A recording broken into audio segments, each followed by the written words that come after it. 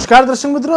દિવસભરની ઘટના એ ઘટનાનું વિશ્લેષણ અને વિશ્લેષણમાંથી હિન્દ ટીવીનો સાચું સમજવાનો પ્રયાસ. હું રાકેશ આપનું હિન્દ ટીવીના સમાચારમાં સ્વાગત કરું છું. સમાચાર શું કરતા પહેલા એક નજર કરીએ અત્યાર સુધીના મુખ્ય સમાચાર ઉપર.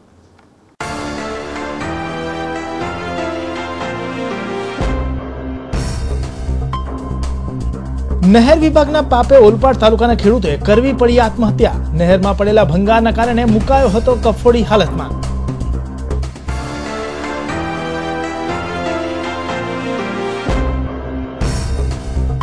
ત્રણ દિવસની સારવાર બાદ દર્દીનું મોત નિપજતા પરિવારજનોએ ઉડનાની શ્રીજી હોસ્પિટલમાં કરી તોડફોડ. ડોક્ટર સામે બેદરકારીનો લગાવ્યો આરોપ.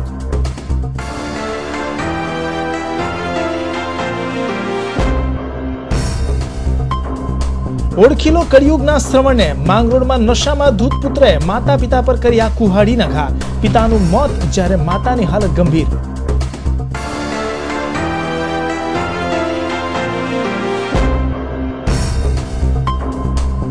સચીના વાંઝ ગામમાંથી માનવ કંકાલ મળી આવતા ચકચાર. કંકાલની ફોરેન્સિક તપાસ માટે સિવિલ લવાયું.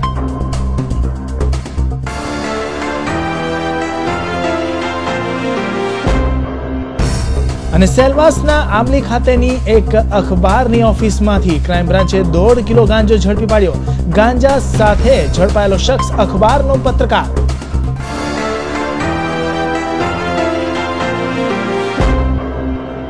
કાંકરાપાર જમણા કાંઠાની નહેરમાં પડેલા ભંગાણ બાદ ખેડૂતો દિવસે ને દિવસે અત્યંત દયનીય હાલતમાં મુકાતા આવ્યા છે. ત્યારે ઓલપાડ તાલુકાના સરોલ ગામના એક યુવાન ખેડૂતે પોતાના લાખો રૂપિયાના ખર્ચે બનાવેલ પાક નિષ્ફળ જતા ગળે ફાંસો ખાઈ આપઘાત કરી લીધો હતો. સુરત જિલ્લાના ઓલપાડ તાલુકાના સરોલ ગામે મોહનભાઈ તથા તેમની પત્ની ઉર્મિલાબેન પોતાના ચાર પુત્રીઓ અને બે પુત્રો સાથે રહે છે. ચાર પુત્રી પૈકી બે પરિણીત હોવાથી સાસરે છે. જ્યારે અન્ય બે પુત્રીઓમાં એક ધોરણ બારમાં અભ્યાસ કરે છે, જ્યારે અન્ય એક ખેતીમાં થોડું ઘણું કામકાજ કરે છે. પુત્રોમાં એક ત્રીસ વર્ષીય અપરિણીત ભરત અને બાવીસ વર્ષીય નિરંજન છે, જેમાં ત્રીસ વર્ષીય ભરત કે જે પોતાની બાર વીઘા જમીનમાં ખૂબ જ મહેનત કરી પરિવારનું ગુજરાન ચલાવે છે. દર વર્ષની જેમ આ વર્ષે પણ તેઓ પોતાની જમીનમાં ડાંગરનો પાક બનાવ્યો હતો, જેમાં લાખો રૂપિયાનો ખર્ચ થયેલો. પરંતુ કાકરાપાર જમણા કાંઠાની નહેરમાં પડેલા ભંગાણ બાદ તેઓને પાણી ન મળતા ડાંગરનો પાક સદંતર નિષ્ફળ જતા ગત સાત તારીખે યુવાન ખેડૂત ભરતે ગળે ફાંસો ખાઈ આત્મહત્યા કરી લીધી હતી. એવું મૃતકની માતા જણાવે છે. તો સાંભળીએ એમના જ મુખેથી. તમને હા શું કયા પાણી મળ્યું ને ભટનું. એટલે કે ખેતી પહેલી ગઈ. ફેલ ગઈ એટલે માછું કરાવું કર્યું કેટલા વીઘા ભાત બનાવે? બક દસથી બાર વીઘ. ડાંગર બનાવે. શું કર્યું એમણે? કોણ ભાઈ? હા ભરતભાઈ. ફાંટવા ખાઈ ગયો. સરળ ગામે રહેતો આ પરિવાર આમ તો મધ્યમ વર્ગીય છે. ભલે તેના પરિવારજનોની સંખ્યા વધુ હોય પરંતુ આવક ખૂબ જ ઓછી છે. જેમાંથી તેઓ જીવન ગુજરાન કરે છે. તેઓ પોતાની ખેતીમાં દર વર્ષે શેરડી તથા ડાંગરનો પાક બનાવતા આવ્યા છે. ચાલુ વર્ષે પણ લાખો રૂપિયાથી વધુનો ખર્ચ કરી ડાંગરનો પાક વાવ્યો હતો. જોકે ડાંગરના પાકમાં સમયસર પાણી ન મળવાથી તેમનો ડાંગરનો પાક સદંતર નિષ્ફળ ગયો છે. જેથી આ પરિવારજનોએ ખર્ચેલા રૂપિયાનું પાણી થઈ જતા ઘરના વાલ સોયા દીકરા ભરતના મગજ પર ટેન્શન આવી ગયું હતું અને દેવાના ડુંગર તળે દબાઈ જવાથી છેવટે ભરતે ખેતરમાં જ ગળે ફાંસો ખાઈ આત્મહત્યા કરી લીધી હોવાનું મૃતક ભરતના પિતા જણાવી રહ્યા છે. તો હવે એમના મુખેથી પણ સાંભળીએ. ડાંગરના પાકને પાણી ના સમયસર પાણી ન મળવાથી એને ટેન્શન ટેન્શન આવી ગયું. મગજ પર દેવું લાંબુ થઈ ગયું. એના કારણે એણે આ અપઘાત કીધો છે. કેવી રીતે આપઘાત કર્યો હમડીને ઝાડાટે ડૂડું બાંધીને ટીંગાઈ ગયો. ખેતરે ટીંગાઈ ગયેલો. ક્યાંની વાત? હા સાત તારીખ આજે આઠ દિવસથી પાક નિષ્ફળ ગયો. એના કારણે બોલો શું થયું મારા છોકરાને મગજ પર ટેન્શન આવી ગયું કે પાણી સમયસર ન મળવાથી ખેતી ડાંગરનો પાક નિષ્ફળ ગયો. એના કારણે એને દેવું લાંબુ થઈ જવાથી એના મગજ પર ટેન્શન આવી ગયું અને એણે ખેતર જ આપઘાત કરી લીધો છે. અને એવું કરે એવો મારો છોકરો હતો જ નહીં. આખા ગામને વિશ્વાસ છે. અને આખા ગામનું જ કામ કરતો હતો મારો છોકરો. સરોલ ગામના મધ્યમ વર્ગનો ત્રીસ વર્ષીય આ દેખાતો યુવાન ખૂબ જ મહેનતુ હતો અને પોતાની સંપૂર્ણ મહેનત ખેતીમાં લગાવી પરિવારનું ગુજરાન ચલાવતો હતો. આમ ઘરનો જવાબદાર અને મોભીદાર વ્યક્તિ હતો. ત્યારે પરિવારજનો પર તો જાણે આપ તૂટી પડ્યું છે. ભરતના મોતથી પરિવારજનોની આંખો આંસુઓથી છલકાઈ રહી છે. ત્યારે પરિવારજનો અને સરોલ ગામમાં માંગ ઉઠવા પામી છે કે પરિવારજનોને થયેલ નુકસાનમાં વળતર આપવાની રજૂઆત ચૂંટાયેલા પદાધિકારીઓ ઉચ્ચ કક્ષાએ પહોંચાડે. એકદમ મહેનતુ છોકરો હતો અને મોભેદાર છોકરો હતો. પણ જે આ નહેરનું પાણી નહીં આવ્યું ડાંગર ખરાબ ગયું એટલે ખેતરે આત્મહત્યા કરી. કેટલા કુટુંબ? ચાર બહેનો. જવાબદારી જ ઘરમાં જવાબદારી છે ચાર બહેનો પપ્પા જોબ જવાબદારી છે. ઘરમાં કમાવ દીકરી એ જ કમાવા દીકરી જ હતો. બધાનું કામ કરતો સિંચાઈ વિભાગના અધિકારીઓની અણઆવડત અને લાપરવાહીને કારણે સરોલ ગામના માતા પિતાએ ઘરના મોભી યુવાનને ગુમાવવો પડ્યો છે. ત્યારે આ વાત કેટલે અંશે યોગ્ય ગણી શકાય? Jignesh Thakor Hind TV news Olpad. ઉધનામાં આવેલી શ્રીજી હોસ્પિટલમાં આજરોજ ડોક્ટર અને પેશન્ટ વચ્ચે થયેલી ઉગ્ર બોલાચાલીએ ઉગ્ર રૂપ ધારણ કર્યું હતું, જેમાં મેડિકલ ચેકઅપ બાબતે થયેલા વિવાદ બાદ હોસ્પિટલમાં તોડફોડ કરવામાં આવી હતી, જે બાદ પોલીસ પણ ઘટનાની જાણ થતાં હોસ્પિટલ પર પહોંચીને મામલો કાબૂમાં લીધો હતો. નજરે પડતી આ શ્રીજી હોસ્પિટલમાં આજે સવારે એક દર્દીના પરિવારજનોએ તોડફોડ કરી ડોક્ટરને ફટકાર્યા હતા. આધારભૂત સૂત્રોના જણાવ્યા અનુસાર ઉધના વિસ્તારમાં એક પરિવારની વ્યક્તિ છેલ્લા ત્રણ દિવસથી શ્રીજી હોસ્પિટલમાં સારવાર લઈ રહ્યા હતા. જેમની તબિયતમાં સુધારો થતાં હોસ્પિટલમાંથી રજા આપી દેવાઈ હતી. ત્યારબાદ ઘરે દર્દીનું મોત નીપજતા તેના પરિવારજનો ઉશ્કેરાયા હતા અને શ્રીજી હોસ્પિટલે પહોંચી કેબિનમાં તોડફોડ કરી રાજેશ મોદી નામના ડોક્ટરની તોડફોડ કરી હતી. તન પહેલા નવ દિવસથી પેશન્ટ બીમાર હતું, એ ત્રણ દિવસથી બતાવવા આવતું હતું સરને અને બીજી જગ્યા બી બતાવ્યું એને, પણ કાલે એક્સપાયર થઈ ગયું પેશન્ટ. અને બપોરે ફોન આવ્યો તો સરને વાત કરી. તો એ પછી કાલે કોઈ આવ્યા નહીં. સરે બી વાત બી કરી લોકોને અને આજે આવીને અચાનક ઓફિસમાં અંદર ઘૂસી ગયા અને સર પર અટેક કર્યું.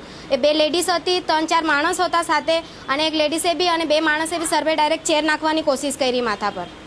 એટલે અમે સ્ટાફ અંદર ગયા, ત્યારે વાત કરી, પણ કોઈ કોઈ જ, કોઈ એટલે કોઈ વાત સરની સાંભળવા તૈયાર નહીં હતા. અને બધું ઓફિસમાં બધું એમ તેમ કરી નાખ્યું. કારણ એટલે પેશન્ટ એમ કે કોઈ કોઈ કહે છે કે એને જોન્ડિસ હતો એમ કહે છે કે બારવાળું કહે છે એને જોન્ડિસ હતો અને એ લોકો એમ કહે છે કે અહીંયા ડેન્ગ્યુ હતું તમે ટ્રીટમેન્ટ કેમ નહીં કરાય? એમ બધું કહેતા હતા. પણ સરની કોઈ એ લોકોએ વાત નહીં સાંભળી. અને પેશન્ટ ત્રણ દિવસ પહેલાં બતાવવા આવેલું. અને અત્યારે સુજીત.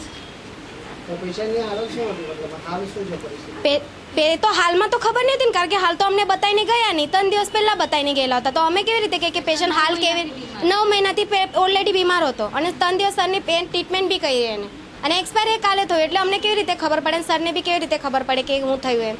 કાલે ફોન આવ્યું કે એક્સપાયર થઈ ગયું. અને એક્શન એ લોકોએ આજે લીધું. અને ડાયરેક્ટ સર પર આવીને અટક કરવા લાગ્યા. અને સરને એક વાત નહીં સાંભળી. એ મિનિમમ બે લીટીસ અને પાંચ છ માણસ હતા. આ પ્રકરણમાં દર્દીનું મોત કુદરતી રીતે થયું હોવાનું શ્રીજી હોસ્પિટલનું નર્સનું કહેવું છે. તેમાં ડોક્ટરનો કોઈ વાંક ન હોવા છતાં બે મહિલા અને ચારેક પુરુષે ડોક્ટરને ફટકારી તેમની કેબિનમાં તોડફોડ કરી હતી. જો કે મોતને ભેટેલા દર્દીના પરિવારજનોએ આક્ષેપ કરતા જણાવ્યું હતું કે દર્દીની હાલત સારી હતી એટલે તેને ડોક્ટરે ડિસ્ચાર્જ આપ્યું હતું. તો પછી થોડા સમયમાં તેમનું મોત કેમ થયું? આ પ્રશ્ન ડોક્ટરને પૂછતા તેણે જણાવ્યું હતું કે તેમને કોઈ ગંભીર બીમારી હતી. જો કે ગંભીર બીમારી હોવાનું ડોક્ટરે પહેલા કેમ જણાવ્યું ન હતું? આ બધી વાતોને ધ્યાનમાં રાખી મોતને ભેટેલા દર્દીના પરિવારજનોએ બેકાબુ બની ડોક્ટરની ગંભીર ભૂલ હોવાની જણાવી તેમને ફટકાર્યા હતા.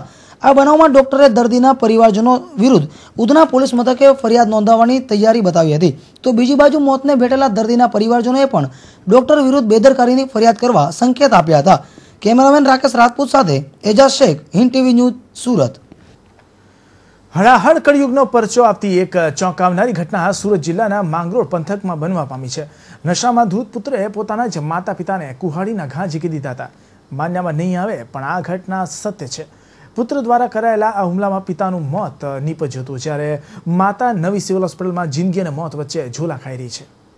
માંગરોળ તાલુકાના માકલ ગામના ગામિત ફળિયામાં રહેતા પાસઠ વર્ષીય ઠાકોરભાઈ ખાલિયાભાઈ ગામિત મંગળવારે વહેલી સવારે નહીં રહ્યા હતા. તે દરમિયાન તેમના પાંત્રીસ વર્ષીય પુત્ર લાલજીએ કુહાડી વડે પિતા પર ઘાતક હુમલો કર્યો હતો.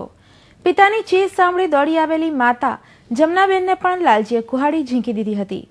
માતા પિતા પર જીવલેણ હુમલો કર્યા બાદ પિશાચ પુત્ર ત્યાંથી નાસી છૂટ્યો હતો. ગંભીર રીતે ઘવાયેલા પતિ પત્નીને તાત્કાલિક સારવાર માટે સુરતની નવી સિવિલ હોસ્પિટલ ખાતે ખસેડાયા હતા, જ્યાં ટૂંકી સારવાર દરમિયાન પિતાનું મોત નીપજ્યું હતું, જ્યારે માતાની હાલત હજુ પણ નાજુક હોવાનું જાણવા મળ્યું છે.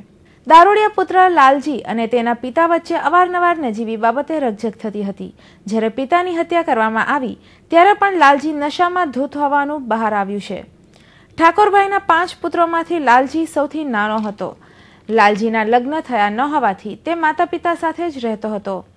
હોસ્પિટલના બિછાને પડેલી માતા વિચારતી હશે કે જો પુત્ર આવા હોય, તો જિંદગી પર નિસંતાન રહ્યા હોત તો સારું.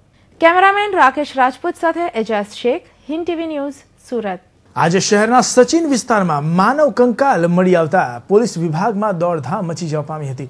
અગાઉ પાંડેસરામાંથી માનવ અંગો મળી આવ્યા બાદ સમક્ષ આવેલા હત્યાની ઘટનાએ હચ મચાવી નાખ્યા બાદ જે બાદ મંગળવારે કંકાલ મળતા આ કંકાલ કોનું છે તે દિશામાં તપાસ હાથ ધરી છે. બપોરના સમયે સચિન વિસ્તારમાંથી માનવ કંકાલ મળવાના સમાચાર વાયુ વેગે સમગ્ર વિસ્તારમાં ફેલાઈ ગયા હતા. માનવ કંકાલના છૂટા છવાયેલા પચાસથી વધુ અંગો મળી આવ્યાની માહિતી મળી રહી છે. જો કે આ કંકાલ ક્યાંથી આવ્યું તે અંગેની ચોક્કસ માહિતી મળી શકી નથી. જ્યારે માનવ કંકાલ મળ્યાના તુરંત બાદ અંગોની તપાસ કરવા માટે પોલીસ કંકાલને નવી સિવિલ હોસ્પિટલ લઈ આવી હતી, જ્યાં આ અંગેનો એફએસએલ રિપોર્ટ તૈયાર કરવામાં આવશે, જે બાદ જ માલુમ પડી શકશે કે આ કંકાલ મહિલાનું છે કે પછી પુરુષનું. તેમજ કેટલું જૂનું છે તે અંગે પણ સચોટ માહિતી મળી શકશે. હાલ તો પાંડેસરા અગાઉ મળેલા માનવ અંગો બાદ બહાર આવેલી ઘટનાને કારણે પોલીસ આ કંકાલ બાબતે કાચું કાપવા માંગતી નથી. દાદરાનગર હવેલી ક્રાઇમ બ્રાન્ચના એસપીએ આમલી ખાતે આવેલા એક એપાર્ટમેન્ટમાં આવેલી અખબારની ઓફિસમાં છાપો મારી ત્યાંથી દોઢ કિલો ગાંજાના જથ્થા સાથે એક વ્યક્તિની ધરપકડ કરતા સનસનાટી મચી ગઈ હતી. ગાંજા સાથે ઝડપાયેલો શખ્સ પત્રકાર હોવાનું જાણવા મળ્યું હતું. દાદરાનગર હવેલીના ક્રાઇમ બ્રાન્ચ અને ટ્રાફિક એસપી સત્યસુંદરમને મળેલી બાતમીને આધારે તેમણે સોમવારે સવારે આમલી ખાતે આવેલા મયુરી એપાર્ટમેન્ટમાં રેડ કરી હતી. ખૂબ જ મોટી સંખ્યામાં પોલીસ સ્ટાફ આમલી પહોંચ્યો હતો અને મયુરી એપાર્ટમેન્ટને ચારે તરફથી ઘેરી લઈને આ એપાર્ટમેન્ટમાં આવેલી એક અખબારની ઓફિસમાં પોલીસ પહોંચી હતી. જ્યાં ઓફિસની તલાશી લેતા ઓફિસમાંથી દોઢ કિલો ગાંજાનો જથ્થો મળી આવ્યો હતો. પોલીસે આ મામલામાં રણવીરસિંહ નામના એક ઈસમને ઝડપી પાડ્યો છે. એસપી સત્યસુંદરમે જણાવ્યું હતું કે પોલીસ સેલવાસમાં ગાંજા વેચવાના આખા નેટવર્કની તપાસ કરી રહી છે રણવીરસિંહ આ ગાંજા પ્રકરણમાં કઈ હદે સંકળાયેલો છે અને સમગ્ર નેટવર્કનો તે કયો હિસ્સો છે તે જાણવા માટે પોલીસે રણવીરસિંહની ઊંડાણપૂર્વકની તપાસ હાથ ધરી છે डीएनएच पुलिस डिपार्टमेंट को एक सीक्रेट इन्फॉर्मेशन मिला आमली में एक अम, कमरे में गांजा मिल रहा है वैसे पड़ा है सो तुरंत हमने एक टीम बनाया, बना के पीएसआई भरत पुरोहित, उनका लीडरशिप में वो टीम राइड भी किया। वहाँ से दो पैकेट दो पैकेट गांजा सीज किया। पहले हमको पता नहीं है वो किसका ऑफ़िस है। अंदर एक आदमी भी था, उनका नाम रणवीर सिंह। फिर पता चला वो एक अ, भारत विश्व गुरु का एक पेपर है न्यूज़पेपर है वो- वो- उसका ऑफिस फिर तुरंत वो रणवीर सिंह को भी हम अरेस्ट किया વર્તમાન સમયની આધુનિક પદ્ધતિ ધ્યાનમાં રાખીને પેપરલેસ કામગીરી તરફ આગળ વધવાના બણગા ફૂંકનારી આરટીઓએ છેલ્લા કેટલાક સમયથી વાહન માલિકોને મોબાઈલ પર અપાતા અને ઓનલાઈન મુકાતા નવા નંબરની સુવિધા બંધ કરી દીધી છે ફક્ત નંબર જાણવા માટે આરટીઓ સુધી લંબાતા લોકોને અવારનવાર ધક્કા ખાવાનો વારો આવ્યો છે. અગાઉ ડીલરના એજન્ટ દ્વારા નવા વાહન માલિકોને જેમને સિલેક્ટેડ નંબર નહીં લેવા હોય તેવા નવા નંબર મોબાઈલ પર એસએમએસ દ્વારા અને આરટીઓ દ્વારા ઓનલાઈન મૂકીને નંબરની જાણકારી આપવામાં આવતી હતી. પરંતુ છેલ્લા કેટલાક સમયથી આ કામગીરી બંધ કરી દેવાઈ છે. જેના પગલે નવા વાહન ખરીદનારાઓને નવા નંબર માટે આરટીઓના ધક્કા ખાવા પડી રહ્યા છે. પોતાના નંબર જાણવા માટે આરટીઓના પહેલા માળે એકસો આઠ નંબરના વિભાગમાં લોકોની કતાર લાગતી થઈ ગઈ છે. આડેધડ નિયમોમાં ફેરફાર કરવામાં માહેર આરટીઓ અધિકારી બીએમ પ્રજાપતિએ પ્રજાનું પણ વિચારવાનું હોય, નિયમો બદલવાની પ્રજાને હાલાકી થતી હોય તો તેમાં સુધાર જરૂરી હોય તે પ્રજાપતિને ક્યારે સમજાશે તે ખબર નહીં. ચોક બજાર વિસ્તારમાં એક યુવાન અને એક પાંચ વર્ષના બાળકનો મેલેરિયાનો રિપોર્ટ પોઝિટિવ આવતા તંત્ર દોડતું થઈ ગયું હતું. વર્ષા ઋતુ પૂર્વે જ મેલેરિયાએ દેખા દેતા આરોગ્ય વિભાગની ટીમે તકેદારીના ભાગરૂપે સેન્ટ્રલ ઝોનમાં લોકોના લોહીના નમૂના લીધા હતા. સુરત મહાનગરપાલિકા દ્વારા જૂન માસમાં મેલેરિયા નાબૂદી અભિયાન શરૂ કરાવવાની તૈયારી ચાલી રહી છે. મેલેરિયા અંકુશમાં રહે તે માટે મનપા દ્વારા લાઇટ બિલ, ગેસ બિલ અને સુમૂલ દૂધની થેલીઓ પર મેલેરિયાથી બચવાના સૂચનોવાળા લખાણનું પણ આયોજન કરાયું છે. ડોર ટુ ડોર ગાર્બેજ કલેક્શનની ગાડી પર હજાર જેટલા બેનરો પણ લગાડવામાં આવશે. મનપાના કમિશનર, મેયર, ડેપ્યુટી મેયર અને આરોગ્ય વિભાગ સહિતના તમામ હોદ્દેદારો અને કર્મીઓ એક જૂને હીરાબાગથી ફૂલપાડા સુધી મેલેરિયા નાબૂદી અભિયાન અંતર્ગત રેલી કાઢી લોકોને જાગૃત કરશે. જોકે મેલેરિયા નાબૂદી અભિયાન પૂર્વે જ મેલેરિયાના રોગે માથું ઉચકતા તંત્ર દોડતું થઈ ગયું છે. સેન્ટ્રલ ઝોનના ચોક બજાર વિસ્તારમાં એક પાંચ વર્ષીય બાળક અને એક યુવાનનો મેલેરિયાનો રિપોર્ટ પોઝિટિવ આવતા મનપાના આરોગ્ય તકેદારીના ભાગરૂપે ત્યાંના લોકોના લોહીના નમૂના લીધા હતા. મેલેરિયાનો વાવર વધે તે પહેલા જ તંત્ર સતર્ક થઈ ગયું છે. છેલ્લા એક સપ્તાહથી બદલાયેલા વાતાવરણને પગલે મેલેરિયાએ માથું ઉચક્યું છે. જો કે મેલેરિયા જેવા રોગ પર અંકુશ મેળવવા તંત્ર કેટલું સફળ થાય છે તે જોવું રહ્યું. Ejaz Shaikh, Hind TV news, Surat. શહેરમાં નાના બાળકો ગુમ થવાની તેમજ તેમના અપહરણ થવાની ઘટનાઓ વધી રહી છે. જેમાં ગત ગુરુવારે ડિંડોરી ખાડીના બનતા બ્રિજ પાસેથી એક શ્રમજીવી પરિવારના અગિયાર વર્ષનો પુત્ર ગુમ થયો હતો. આ સંદર્ભે તપાસ હાથ ધર્યા બાદ ગતરોજ પોલીસે અપહરણનો ગુનો દાખલ કરી તેમની તપાસ હાથ ધરી છે. વીતેલા ગુરુવારની સવારે ડિંડોરી ગામના ખાડીના નવા બંધાતા બ્રિજ પાસે શ્રમજીવી પરિવાર કામ કરી રહ્યો હતો. લગભગ સવારના અગિયાર કલાકની આસપાસ આ શ્રમજીવી પરિવારનો અગિયાર વર્ષીય પુત્ર નજીક જ આવેલા ખેતરમાં રમી રહ્યો હતો. કામ પૂરું થવાની સાથે પરિવારને તેમના પુત્ર પર નજર કરવા ગયો ત્યારે ખેતરમાં રમતો તેમનો પુત્ર ક્યાંક જળ્યો ન હતો. આ બાદ આસપાસના વિસ્તારમાં તેની શોધખોળ આદરી હતી, પરંતુ તેની કોઈ ભાળ મળી ન હતી. ગુરુવાર બાદ વિવિધ સ્થળોએ તેની તપાસ કર્યા બાદ પણ પુત્ર નહીં મળતા આખરે પરિવારે ડિંડોરી પોલીસ મથકમાં ફરિયાદ નોંધાવી હતી. જેમાં મળતી માહિતી પ્રમાણે કોઈ અજાણ્યો શખ્સ આ પરિવારના પુત્રનું અપહરણ કરી ગયો હોવાનું પ્રાથમિક તપાસ બાદ અનુમાન મેળવવામાં આવ્યું હતું. હાલ તો પોલીસે અપહરણનો ગુનો નોંધી પુત્રની શોધખોળ આરંભી છે. રુદરપુરા લાપસીવાલાની ચાલમાં રહેતા એક પરિવારના બંધ ઘરને તસ્કરોએ નિશાન બનાવ્યું હતું. અમદાવાદ કામ અર્થે ગયેલા પરિવારની ગેરહાજરીનો લાભ ઉઠાવી તસ્કરો રોકડા તેમજ સોનાના દાગીના મળી કુલ રૂપિયા બે લાખ એસી હજારના મુદ્દામાલ પર હાથ સાફ કરી ફરાર થઈ ગયા હતા. નજરે પડતા આ સુગમ્ય એપાર્ટમેન્ટમાં રહેતો પરિવાર કામ અર્થે અમદાવાદ ગયો અને તસ્કરો બે લાખ એસી હજાર રૂપિયાનો હાથફેરો કરી ગયો હોવાની ફરિયાદ અઠવા પોલીસ મથકે નોંધાઈ છે. પોલીસના જણાવ્યા અનુસાર રુદરપુરા લાપસીવાળાની ચાલમાં સુગમ્ય મેન્શનના ફ્લેટ નંબર ત્રણસો એકમાં રહેતા નસરીનબેન પોતાના પરિવારજનો સાથે કામ અર્થે અમદાવાદ ગયા હતા. તે દરમિયાન શનિવારે રાત્રે નસરીનબેનનો પાડોશી એક કલાક માટે ઘર બંધ કરી બહાર ગયો હતો અને પાછો આવ્યો ત્યારે નસરીનબેનના મકાનનું તાળું તૂટેલું દેખાયું. એટલે તેમણે ઝાપા બજાર ખાતે રહેતા નસરીનબેનના પિતાને ઘટનાની જાણ કરી હતી. નસરીનબેનના પિતા મોહમ્મદભાઈએ ઘરમાં તપાસ કરી તો કબાટમાંથી સોનાના તથા ચાંદીના દાગીના અને રોકડા રૂપિયા બે લાખ એંસી હજારની ચોરી થઈ હોવાનું જાણ થતાં તેમણે અઠવા પોલીસ મથકે ફરિયાદ નોંધાવી હતી. જેના પદા જેના આધારે પોલીસે આગળની તપાસ હાથ ધરી છે.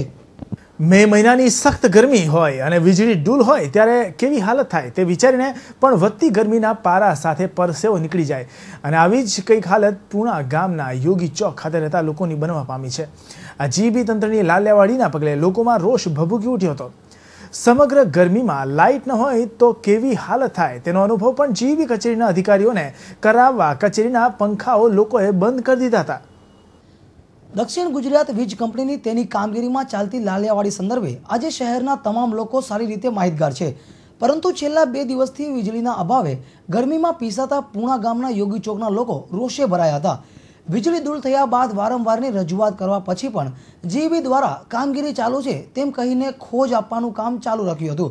સામાન્ય રીતે દૂર કરવામાં પણ જીબીની અધિકારીઓની જાડી ચામડી નરમ પડતી ન હોવાથી રહીશોએ આ ગરમીનો અહેસાસ તેમને પણ કરાવવાનો નિર્ધાર કર્યો હતો. પૂણા જીબી કચેરીમાં લોકટોળું ઘૂસી આવ્યું હતું અને કચેરીના તમામ લાઇટ પંખાઓની સ્વિચો બંધ કરીને કચેરીમાં જ ગોઠવાઈ ગયા હતા. બંધ થયેલી લાઇટો અચાનક જ ચાલુ કરવામાં સાંજ સુધી લોકો જીબીની કચેરીમાં બેસી વિરોધ કરવાનો નિર્ધાર કર્યો હતો. રહીશોની આ અચાનક જ હાજરી અને લાઇટ પંખા બંધ કરી દેવાતા પ્રયાસને જોઈને જીબીના અધિકારીઓ પણ અવાચક થઈ ગયા હતા. સારોલી ડિવિઝન ખાતે જે યોગી ચોક વિસ્તાર છે એની આજુબાજુની સોસાયટીઓમાં છેલ્લા એક દોઢ મહિનાથી આખા દિવસમાં ચારથી પાંચ કલાક પાવર રહેતો નથી અને એક બાજુ આ ઉનાળાની સિઝન હોય, લગ્નની પણ સિઝન હોય પાવર તો ઠીક પણ પીવા, પાવરના હિસાબે પીવાનું પાણી પણ લોકોને મળતું નથી. અને ગઈકાલે પણ બંધ હતું સતત અને આજે પણ બંધ છે અને રિપેરિંગ ચાલે છે, વાયર તૂટી ગયા છે, એવો અહીંથી જવાબ આપવામાં આવે છે. પણ આજરોજ અમે એ વિસ્તારના જુદી જુદી સોસાયટીના વ્યક્તિઓ અહીંયા આવી અને રજૂઆત કરી. તો આવો પ્રશ્ન હવે પછી નહીં આવે એવો જવાબ આપવામાં આવે છે, પણ અમે લોકોએ એ લોકોના પણ જે પંખા ને બધું ચાલુ છે એ પણ બંધ કરી અને જો પાવર ન હોય તો કેવી લોકોની મનોવ્યથા થાય કે મનોદશા થાય? એની એ લોકોને પ્રત્યક્ષ એક અનુભવ થાય. એવું કરી અને આજે અમે પાંચ વાગ્યા સુધી અહીંયા બેસવાના છીએ એ લોકોની સાથે. અને એ લોકોના પણ પંખાને બધું બંધ રાખવાનું. તો એ લોકોને પણ એનો અહેસાસ થાય, અહેસાસ કરાવવા માટે અમે અહીંયા આવ્યા છીએ. અને છેલ્લા ઘણા સમયથી આ ત્રાસ એ વિસ્તારના લોકો આ જીઈબીના તંત્રના પાપે ભોગવી રહ્યા છે. કહેવાય છે ને કે જ્યાં બહેરાઓ બેઠા હોય ત્યાં અવાજ નહીં, પરંતુ ધમાકા કરવા પડે.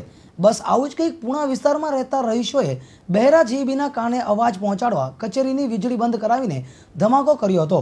જેના પગલે જીબી તંત્ર હાલ તો દોડતું થઈ ગયું છે. જોવાનું એ છે કે લાલિયાવાડીમાં માહિર આવું જીબી લોકોને આગ ઝરતી ગરમીમાં વીજળીની ઠંડક ક્યારે આપે છે? કેમેરામેન નિકુંજ પંડ્યા સાથે bureau report, Hind TV news, Surat. Hazira port પર આવેલા ચાઇનાનું યંગસન બે નામનું કોલસો ભરેલા જહાજમાં સોમવારે સાંજના સમયે ગેસ ગુંગળામણ થતા બે મેમ્બરો ગુંગળાઈ ગયા હતા. જેમાં જહાજના કેપ્ટનનું ઘટના સ્થળે જ મોત નીપજ્યું હતું. જ્યારે અન્ય એક યુવાનને અડાજણની ખાનગી હોસ્પિટલમાં સારવાર ખસેડવામાં આવ્યો હતો. ઘટના અંગેની મળતી માહિતી મુજબ સોમવારે સવારે ઇન્ડોનેશિયાથી ચાઇનીઝ જહાજ યુંગસુન ટુ હજીરાની જાયન્ટ કંપનીમાં કોલસાની ડિલિવરી માટે આવ્યું હતું, જેમાં સાંજના સમયે જહાજના બે ક્રૂ મેમ્બર, પચીસ વર્ષીય ચીફ ઓફિસર લી ફાઉ અને પચીસ વર્ષીય જહોજેક ફી કામ અર્થે જહાજમાં ગયા હતા. તે દરમિયાન ગેસ ઉંગળામણ થતાં બંને કામદારો ફસાઈ ગયા હતા. તેમાં કેપ્ટન લી ફાઉ જહાજમાં પટકાઈ પડતા તેને માથાના ભાગે ઈજા પહોંચી હતી, જેથી આ ચીની યુવાનનું ઘટના સ્થળે જ કમકમાટી ભર્યું મોત નીપજ્યું હતું, જ્યારે અન્ય એક કામદાર બેભાન થઈ ગયો હતો. આ ઘટનાને પગલે જહાજમાં અકસ્માત અંગેનું સાયરન વાગતા દોડધામ મચી જવા પામી હતી અને બંનેને એકસો આઠ એમ્બ્યુલન્સ મારફતે અડાજણની ખાનગી હોસ્પિટલ ખાતે ખસેડવામાં આવ્યા હતા, જ્યાં ફરજ પર હાજર તબીબે કેપ્ટન લી ફાવને મૃત જાહેર કર્યો હતો તો જોજક ફી હાલ સારવાર હેઠળ છે. ઘટના અંગેની જાણ થતાં હજીરા પોલીસે એફએસએલની મદદ લઈ આગળની તપાસ હાથ ધરી છે. Bureau report, Hind TV news, Surat. Kim ગામના મુખ્ય માર્ગ ઉપરથી હજીરા પટ્ટીના મસ મોટા કારખાનાઓના ભારે વાહનો જોખમી રીતે પસાર થતા હોવાને લીધે સ્થાનિકો ટ્રાફિક સમસ્યાથી ત્રસ્ત બન્યા હતા. આ ટ્રાફિકને લઈ વારંવાર સ્થાનિક નેતાથી લઈ ગાંધીનગર સુધી ઉગ્ર રજૂઆતો કરવામાં આવી હતી. જેના અનુસંધાનમાં સુરત જિલ્લા કલેક્ટરે સમય મર્યાદિત જાહેરનામું બહાર પાડી ભારે વાહનો માટે સવારે છ થી રાત્રે આઠ સુધી પ્રતિબંધ લગાવી દીધો હતો. જોકે કલેક્ટરના આ જાહેરનામાનો ટ્રક ચાલકો દ્વારા સરેઆમ ભંગ કરવામાં આવી રહ્યો છે. રેલવે ફાટકની બંને તરફ વાહનોની લાઈનો જોઈ તમને મુંબઈ જેવા મહાનગરનો ટ્રાફિક લાગતો હશે, પરંતુ આ ટ્રાફિક ખોબા જેવડા કીમ ગામનો છે. આ ટ્રાફિકમાં વર્ષોથી કીમ ગામની નિર્દોષ પ્રજા ભોગ બનતી રહે છે. અહીં કલાકોના હિસાબે માણસો પોતાનો સમય બગાડે છે અને હજારો લીટરના હિસાબે ઈંધણનો બગાડ થાય છે. કિમના કેટલાક રહીશો કિમ ગામમાંથી આ ટ્રાફિક સમસ્યાને કારણે અન્ય જગ્યાએ સ્થળાંતર કરી ગયા હોવાના દાખલા મોજૂદ છે.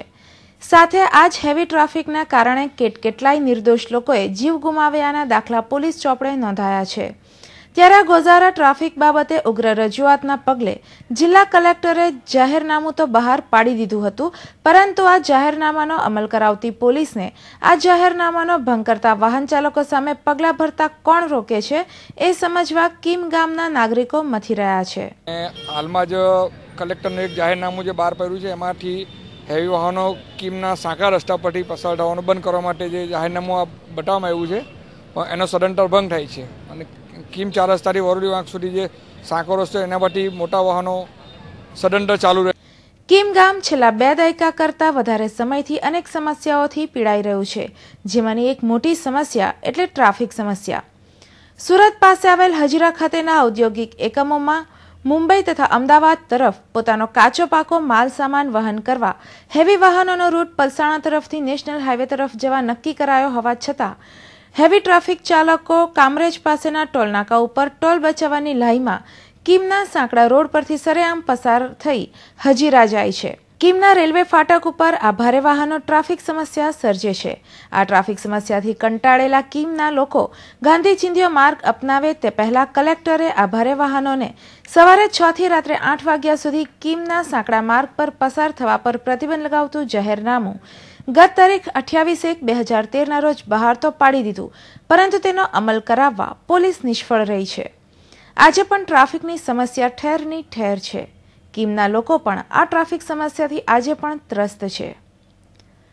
Gautam Patel, Hind TV news, Kim. લીંબાદ Godadara વિસ્તારમાં એક સપ્તાહ અગાઉ ત્રણ બહેનો ભગવાનના દીવા કરી રહ્યા હતા. આ સમયે એક બહેનની નાની અમસ્તી ભૂલ ત્રણેય બહેનોને ભારે પડી હતી.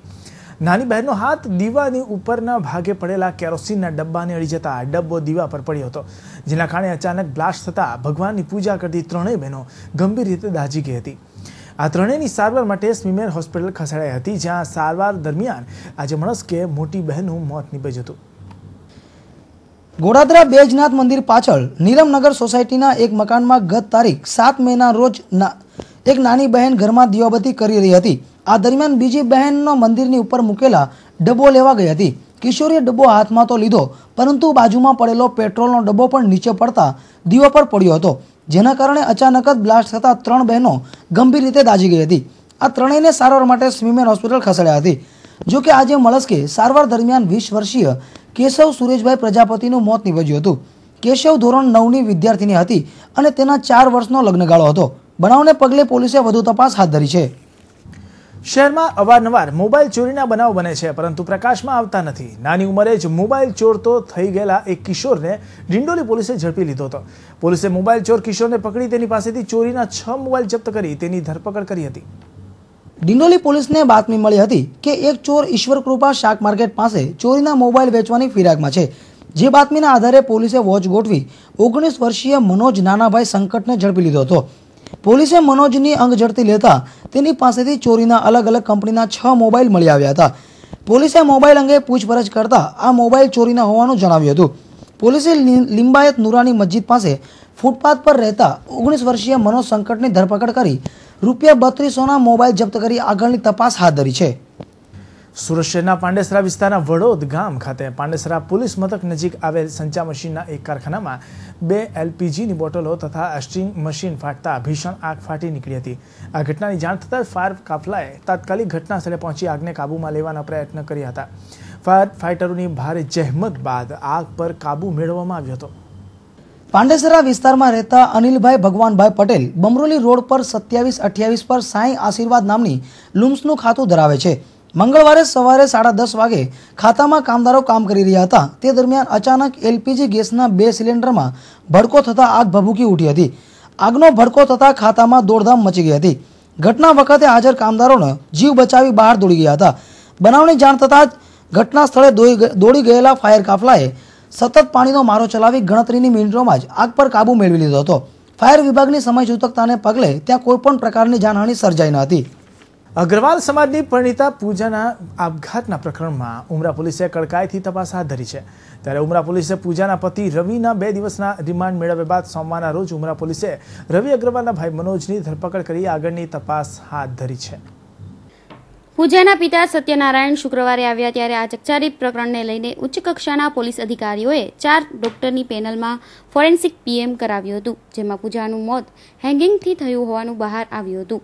હાલમાં ઉમરા પોલીસે પૂજાના મોતને પગલે આત્મહત્યાની દુષ્પ્રેરણાનો ગુનો દાખલ કરી રવિ અગ્રવાલની અટક કરી હાલમાં પોલીસ રિમાન્ડ હેઠળ છે. જ્યારે સોમવારે તેના ભાઈ મનોજ અગ્રવાલની પણ પોલીસે હોસ્પિટલમાંથી રજા આપતા અટક કરી હતી. તેમજ મનોજ અગ્રવાલને મંગળવારે કોર્ટમાં રજૂ કરીને રિમાન્ડ મેળવવાની કાર્યવાહી કરાશે. તદુપરાંત કોલ ડિટેલ મળવાની તજવીજ. હાથ ધરીને આગળની તપાસ હાથ ધરી છે. સુરત મહાનગરપાલિકા દ્વારા મંગળવારના રોજ વેસ્ટ ઝોન તથા સાઉથ ઝોનના વિસ્તારમાં વિવિધ પ્રકલ્પોની ખાતમુહૂર્ત વિધિ તેમજ ઉદ્ઘાટન વિધિના કાર્યક્રમો હાથ ધરવામાં આવ્યા હતા. મંગળવારે સવારે સુરત મહાનગરપાલિકા દ્વારા વિવિધ પ્રકલ્પોના ઉદ્ઘાટન તેમજ ખાતમુહૂર્ત વિધિમાં સૌપ્રથમ નવ કલાકે એલપી સવાણી શાંતિવનની ઉદ્ઘાટન વિધિ રાખવામાં આવી હતી. ત્યારબાદ નવને પંદર કલાકે અડાજણની શંકરનગર સોસાયટીની પાછળ વોર્ડ ઓફિસ તેમજ પોલીસ ચોકીની ખાતમુહૂર્ત વિધિ રાખવામાં આવી હતી. તે પછી દસ કલાકે ખટોદરા હેલ્થ સેન્ટર પાસે કોમ્યુનિટી હોલનું મેયરે ઉદ્ઘાટન કરી લોકોની સેવા માટે ખુલ્લું મૂક્યું હતું. ત્યારબાદ દસને પંદર કલાકે ઉધના સ્વિમિંગ પુલ પાસે શાંતિકુંજની ઉદ્ઘાટન વિધિનું આયોજન હાથ ધરાયું હતું. તેમજ બાળકોના સ્કેટિંગ સ્કોપ માટે ઉધના વિજયાનગર સ્ટેડિયમ પાસે દસને પિસ્તાલીસ કલાકે સ્કેટિંગ રિંકની ઉદ્ઘાટન વિધિ રાખવામાં આવી હતી. તો બીજી બાજુ અગિયાર કલાકે ઉધના સોનલ બોર્ડ ઓફિસ પાસે શાંતિકુંજની ઉદ્ઘાટન વિધિ રાખવામાં આવી હતી. તેમજ બોમરોલી વિસ્તારમાં લોકો માટે ગૌરીનગર ખાતે વેજીટેબલ માર્કેટનું સવારે અગિયારને ત્રીસ કલાકે ઉદ્ઘાટન કરવામાં આવ્યું હતું. ત્યારબાદ અગિયારને પિસ્તાલીસ કલાકે મેયરના હસ્તે જ્ઞાનમાં વધારો કરતા એવા વાંચનાલયને બમરોલી મહાદેવ મંદિર સામે લોકો માટે ખુલ્લું મૂકવામાં આવ્યું હતું.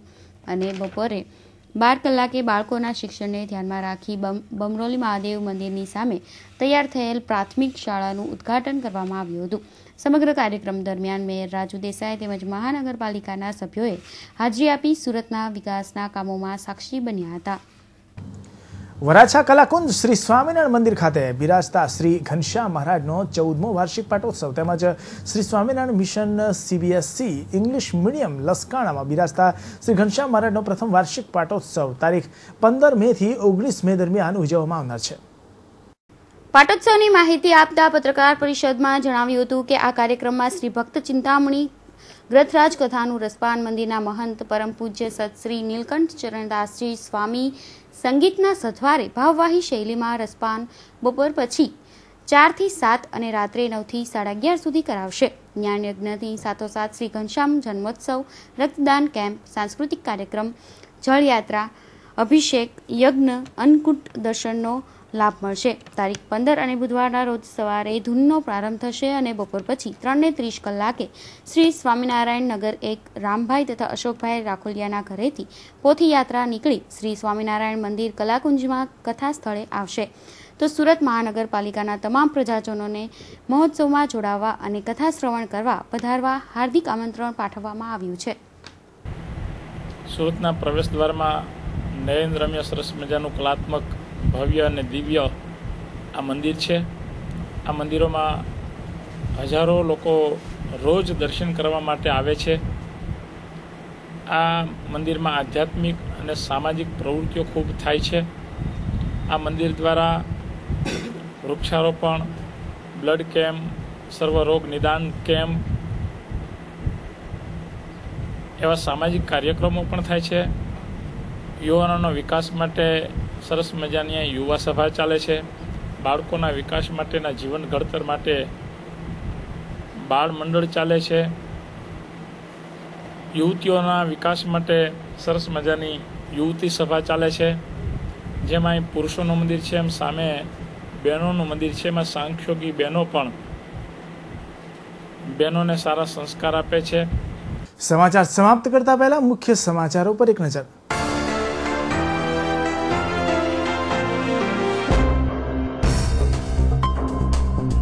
નહેર વિભાગના પાપે ઓલપાડ તાલુકાના ખેડૂતે કરવી પડી આત્મહત્યા. નહેરમાં પડેલા ભંગારના કારણે મુકાયો હતો કફોડી હાલતમાં.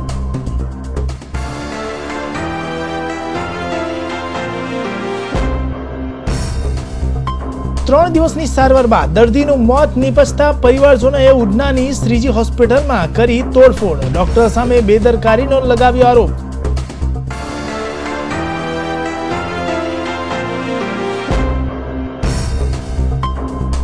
ઓળખીલો કળિયુગના શ્રવણે માંગરોળમાં નશામાં ધૂત પુત્રએ માતા પિતા પર કર્યા કુહાડીના ઘા. પિતાનું મોત જ્યારે માતાની હાલત ગંભીર.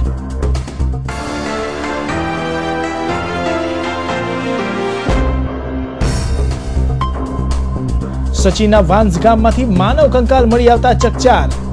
કંકાલની ફોરેન્સિક તપાસ માટે સિવિલ લવાયું.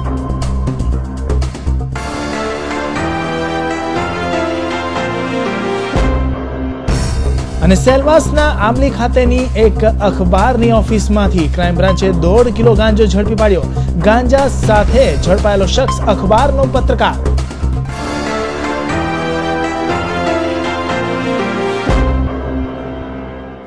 દર્શક મિત્રો, આ હતા અત્યાર સુધીના સમાચાર. ફરી નવા સમાચાર સાથે મળશું. ત્યાં સુધી રજા આપશો નમસ્કાર.